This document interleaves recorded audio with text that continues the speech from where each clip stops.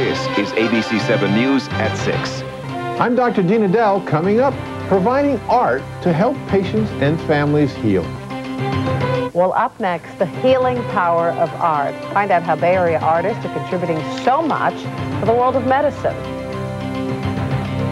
It feels like home. It feels warm, not just a sterile wall. And tonight, Dr. Dean Edell, a special ABC 7's Salute.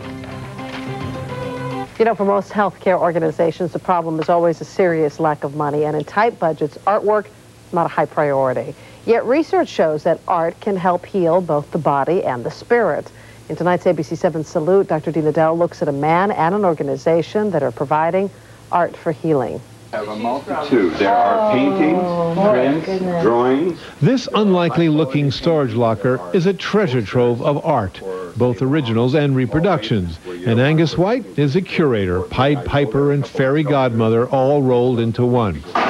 I think that's, That's nice. pretty. Yes. Very nice. That's This is very a nice. Man Ray. Very It's a bit like Christmas for uh-huh. Alexandra Morgan and her helpers who get to choose whatever they want to hang on the walls of Family House, a new center established to help families of sick children. That is such a yes. That is so great. One by one, the group selects artwork that cheers or soothes the spirit. Angus Whyte and others have gathered all this art together as part of an organization called Art for Healing. What's amazing about Art for Healing is how much a healthcare organization has to pay to get this art.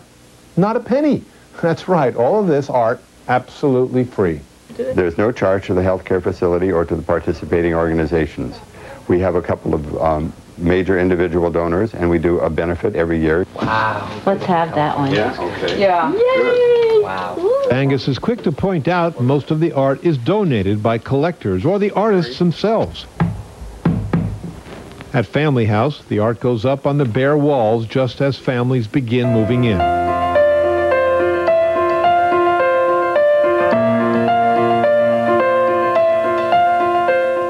Family House provides free housing for seriously ill children and their parents who are being treated at UCSF. Joni is typical. My babies were born here at UCSF at 27 and a half weeks. Full term's 40 weeks. Her preemie twins were born 13 weeks early, and she lives three hours away. Family House has become a haven for her and her mother while she waits for her babies to go home. The artwork has made a big difference to her peace of mind. When you come into a room, it feels like home. It feels warm, not just a sterile wall. It was a complete gift that created a beautiful environment for our families. Art for Healing has had a major impact at UCSF's Langley Porter Psychiatric Facility as well. This is a painting that many patients feel uh, is very soothing to them.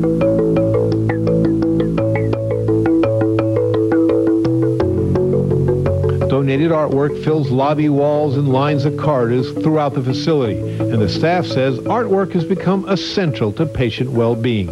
Art is very important in terms of affecting people's mood and their behavior. Angus is, and Art for Healing is providing something that is of enormous value.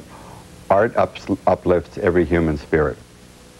So we salute Angus Whyte and the other contributors who've made Art for Healing such a powerful force for so many people. To donate art or money, we have a link on our website. Just log on to abc7news.com and click on Dr. Dean Edell. You should donate something. Your work is beautiful. That, that, Their work is a whole lot better, though. That's oh, the problem with this that. is very Don't good. be modest. He's But- quite an artist.